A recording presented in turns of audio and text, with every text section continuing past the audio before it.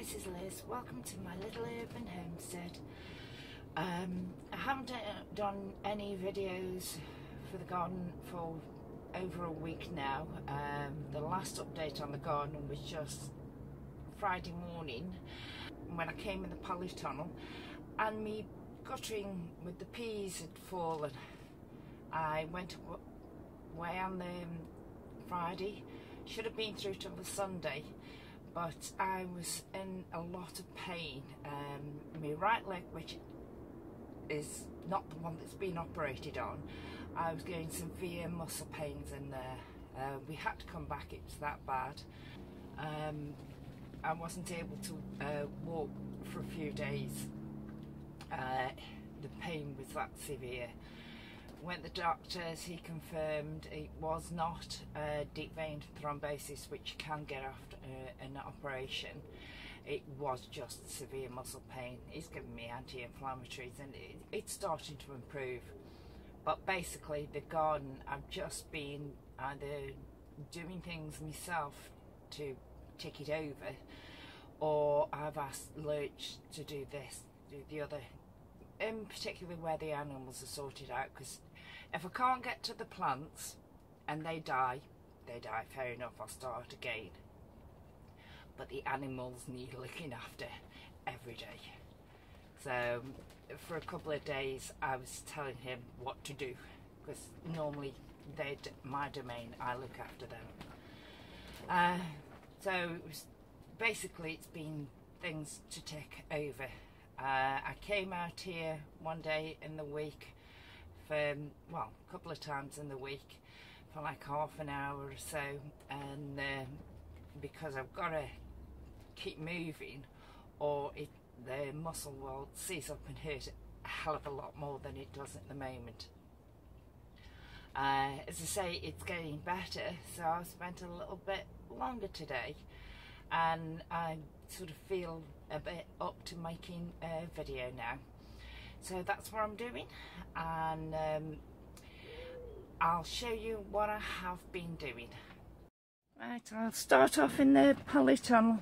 It's much the same um, apart from I've brought I said I was going to uh, have a rotation system. Some things that were in the greenhouse have come in here and some things that were in here have moved into my um, grow house so what is the here uh, seedlings of, I'm not sure what. These are kale. These at the back are mm, broccoli. Well, broccoli. and I think that's chard at the back. Uh, oh no, it's beetroot. Beetroot at the back. Um, spring onions, they're not doing that much now. There's some tomatoes I had got under my grow lights in the house. I potted up and there's more than I'll actually need. So as they're used to the warmth of the house and that, I put them back under the grow lights and um, bought a few. I brought in here. I thought I'll risk it. If if they die, I know it's too cold to bring the others out. And they've been out here a couple of days and they seem to be alright. Uh, the spring onions are sowed a while ago in the trough are just coming through now. Spring onions I think are slow. I moved these from the greenhouse in here. Uh, those three bins are giant sunflowers. Um, nothing has come from me Swift. The um, sweet corn. Um, there's some sweet peas there. Two varieties and you can tell there's not many germinated in one variety but the other's not too bad. Uh, I've got some chard in there and that's pepper I think I brought in well, brought out from inside.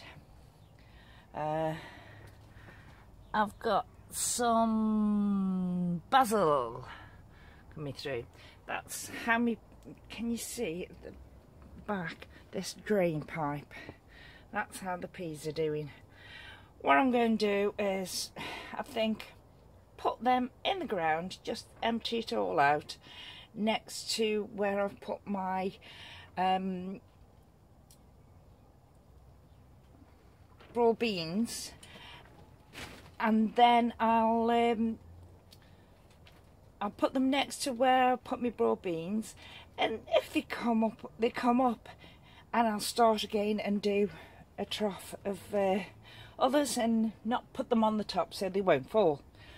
But there's a few more things that have come through the rhubarb going great guns might have some of that tonight might not uh, strawberries. I bought some strawberry plants and I put them in this hanging container in the polytunnel so I'll have an earlier crop of strawberries than those outside. Uh, and as you can see, I got flowers on them. But strawberries do need pollinating. So, especially when I'm working in here, I'm having the doors open so things can come in. But I'm also going to brush them as well to make sure they get pollinated. Uh, from this angle, you can see. These are the strawberries I had uh, last year. Um, I think that one's died, but there's new fresh green growth on the others.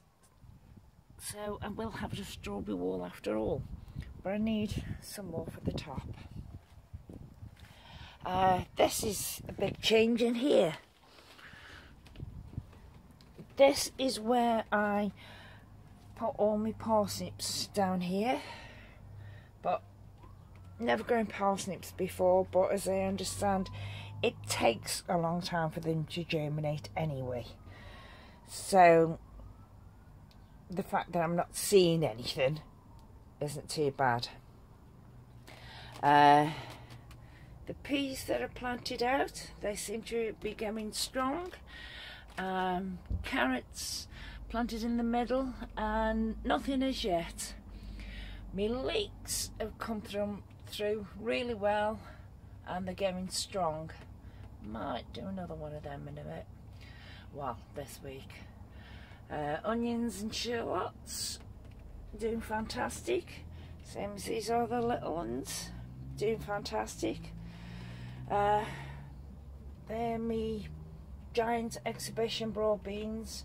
They're, they'll be in here uh, for a week and a half, two weeks, and then they'll go outside next to me broad beans. This is some Brussels sprouts and broccoli that I uh, potted up.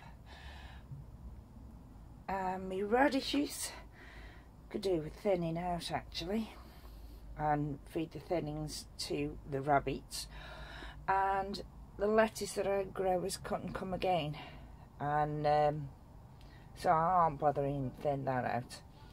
But I might do thin them out tonight. And instead of giving the rabbits the thinnings eat them myself. Do a little salad. Hmm.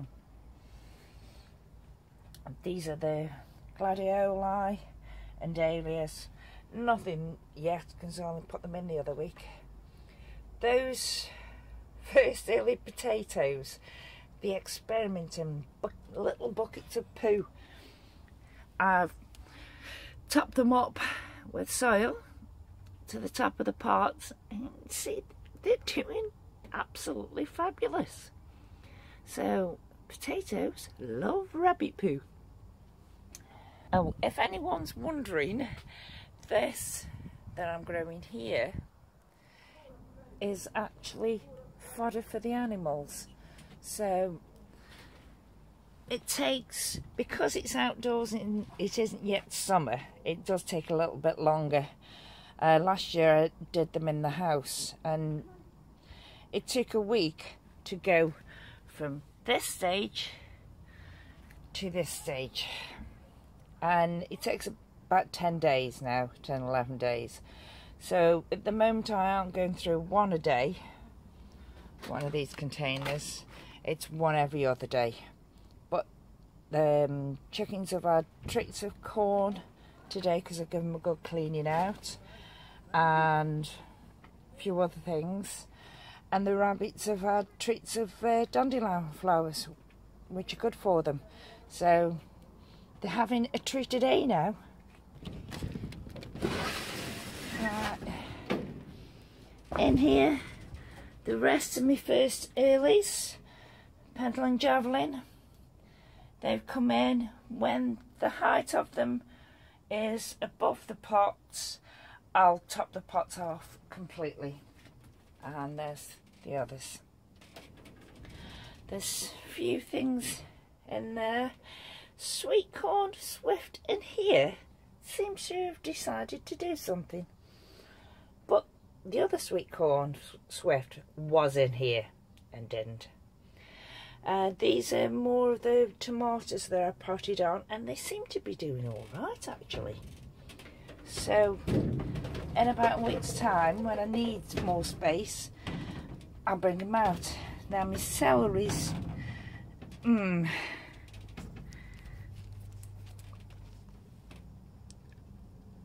I watered them this morning and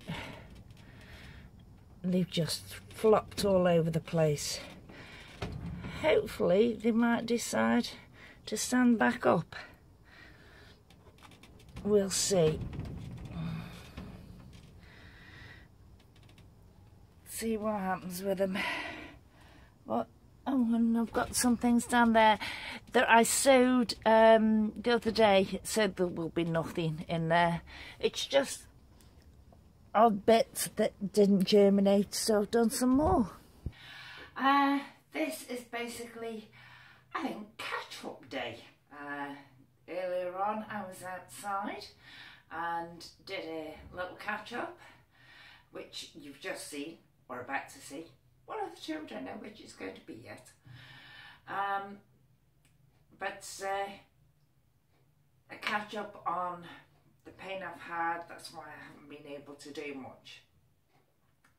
So today I've been able to do a bit more than before. So I've spent it outside since it was such a lovely day. So I I just wanted to share with you as well my kitchen. This is an old apron of mine, but this will give you an idea. Um, I can blend into the background in my kitchen while I'm wearing this. Um, we've been um, in so much pain this week. Leach wanted to help cheer me up. So he's painting my kitchen. I chose the paint colour, so I can't blame him for that. My kitchen has now been tangoed, so I'll show you what that looks like. Right, uh, try to get this in shot because it's only a small kitchen, small house, small garden. But this is the Welsh dresser that you've seen on other videos and that. And look behind it, tangoed. Mmm, it's tangoed. It does show the new cooker hood off nicely because it's black. And obviously you've seen the cooker this week. But one thing that will help with these videos is I'll put some bread there. I'll go through that with you in a minute so you can see the difference. And Hood's got a light so it should help with me videos as well. And as you can see, there it is with the light. The This cupboard was over by my fridge freezer and so I thought, put it there. Uh, got me oils and spices and everything and herbs on it and utensils. Um, you can see it's been tangoed. There's my fridge freezer. This is where the shelving was before. It's now moved but I got a tangoed kitchen.